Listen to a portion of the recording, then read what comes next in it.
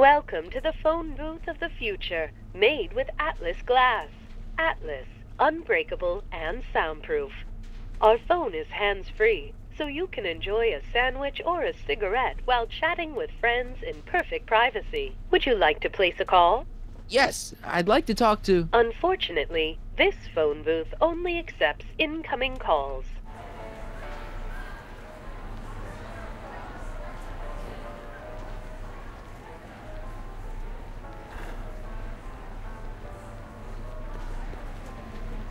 Hi, Trixie. That's Techni to you, kiddo. Right. Uh, congratulations on getting the old job back. Thanks. Justice triumphs in the end, you know? Now what can I do you for? So, which exhibits do you recommend? The most popular attractions are the Glass House, the Future Furnishings, and of course, Enlightenment Under the Sea. You know who that is under the diving helmet? That's Jacques Duteau himself. Of course, you need to get tickets if you want to see the main attractions. How much are tickets? Aw, put your money away. Here, we're kinda like family now, you know? Thanks.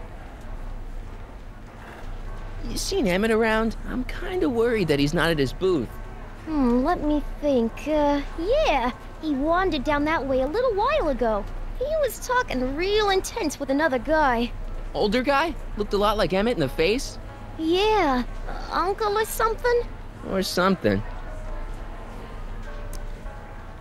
Look, Emmett's demonstration has hit a snag or two. Can you delay his act for a while? Let someone else go before him? Sorry, I don't set the roster, and they won't let me change it. Uh, I can drag my feet a little, but uh, if your friend's not ready to go on pretty soon, we might have to skip his act. Uh, I mean, demonstration. But you can't! Hey, it's just a science demo. It ain't a matter of life and death. What time is Emmett supposed to go on? Let's see, 8 kilobeats past 50.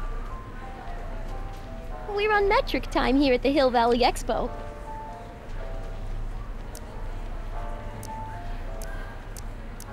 Edna Strickland is trying to get Emmett's booth shut down. Dame don't know how to mind her own business, does she? Is there anything you can do uh, to get Emmett's booth open again? I wish there was, but I'm just a muse. All we can do is inspire people. Okay, you're a muse. Can you inspire me an idea? I'll try. Well, Maybe it doesn't take effect right away. Artie told me how you managed to get your old job back. he did? But it was supposed to be a secret. There's no secrets between us. He couldn't resist telling such a good story. Yeah? Still, I'd like to hear it again, uh, from your point of view. Uh, he didn't tell you anything. Come on, Trixie. I'm dying to know how you got the job back. You won't hear it from me. I don't talk out of turn. Thanks. Happy to help.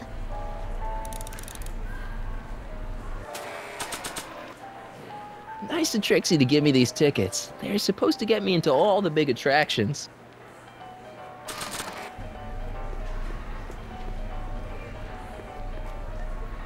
Are you ready for a picture radio? Wonder if that's anything like MTV.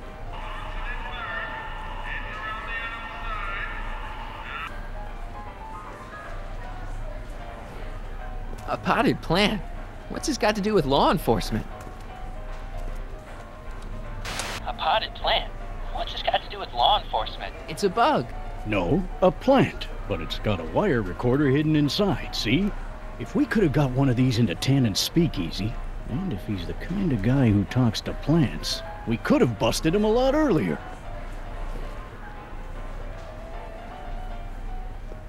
Oh, hello, Smirnoff. The amazing inebriomatic. Well, from what the boys in the lab tell me, someday we'll be able to tell whether people have been drinking just by breathing into a machine like this. Uh, Try it out. I don't think so.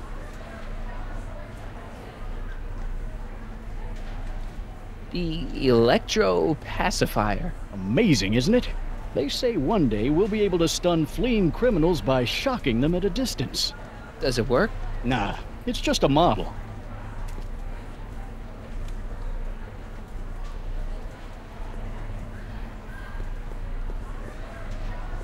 Danny, can I talk to Edna for a minute? Be my guest. I'd like a couple minutes of quiet. What's this about? What'd you do with Emmett, Edna? What are you talking about? You're the one who's trying to ruin his life. Believe it or not, I'm the one trying to save it. From what? From you, mostly.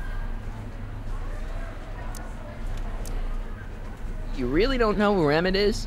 I haven't the foggiest.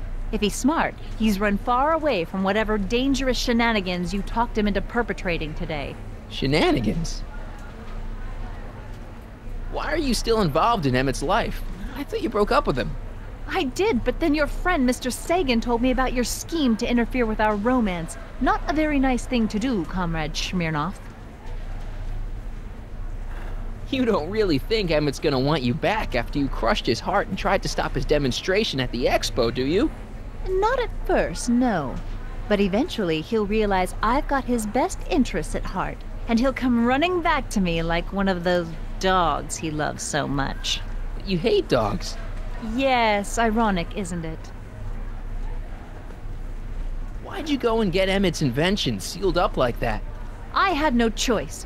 Once Mr. Sagan told me about your attempts to radicalize my poor Emmett, I knew I had to stop him from going through with your dangerous invention.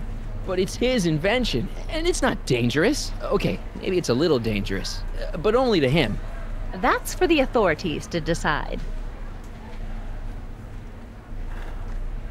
Any chance you could talk Parker into letting Emmett go ahead with his demonstration? None whatsoever. And as long as I'm here, that contraption of yours is grounded. Have you seen Mr. Sagan around here anywhere? No, and I wouldn't tell you if I had. He's more than a little scared of your anarchistic tendencies. Did you see? Trixie Trotter got her old job back. Oh, I know! I tried to have it out with Arthur McFly, but he refuses to explain himself. Apparently, he discovered some sort of loophole that allows that Canadian to retain her position. Well, the Ladies' Decency Society shall hear about this. Make no mistake. Why is Parker so willing to do your bidding? Well, the good detective knows that he owes his current rise through the ranks to my reporting on his behalf. Oh, He also knows that I could just as easily pen an expose about his previous nights of drunken debauchery and evidence tampering. you're blackmailing him? Reporters don't blackmail, Mr. Smirnov. We look out for the public interest. I know your deep, dark secret. Secret? What secret?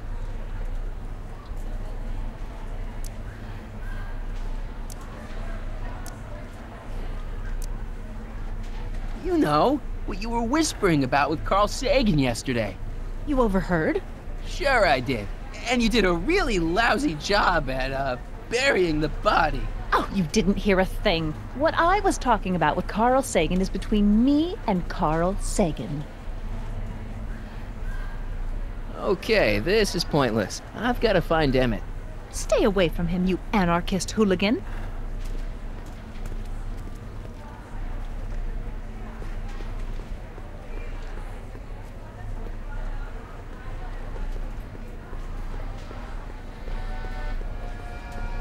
Looks like the air hose for the bathysphere.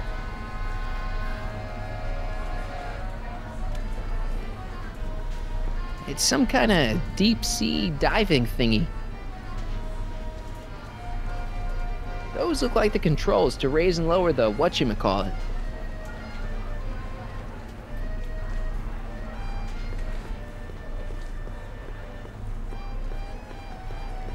Mr. Duteau? Oui. I'm looking for a friend of mine, Emmett Brown. Tall young guy, uh, reddish brown hair. A distracted look? That's him. Any idea where he went? He just passed by here with an older gentleman. I think they were headed into the House of Glass. Great, thanks. Mr. Duteau. Oui? Here's my ticket. Give me a ride in that thing. Thank you, monsieur. I hope you will find your trip to the bottom of the sea less delightful.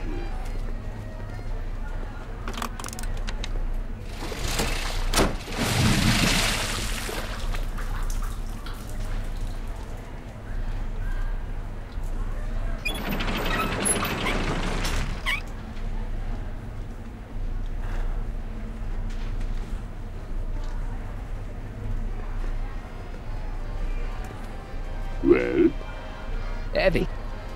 monsieur has a way with words.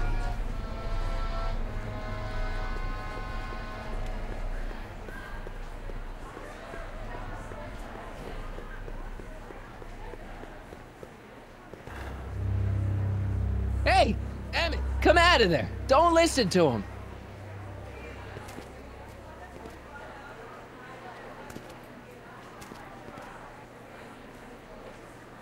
Perfect.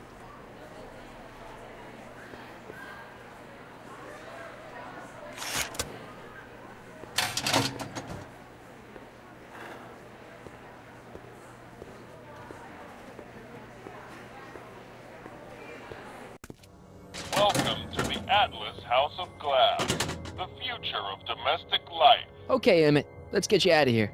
Emmett! Emmett, don't listen to him. He, he's crazy. I'm still not sure about this business proposal, Mr. Sagan. Let me explain it again. Atlas Glass, unbreakable and soundproof. Soundproof glass. Great. Our living space can be configured to meet the needs of any family. Need a private study? Simply slide the walls in, or slide them out again to create a spacious banquet hall. Emmett, get out of this place and back to your booth. You're gonna miss the demo. Come on, Emmett, look up here. Ah,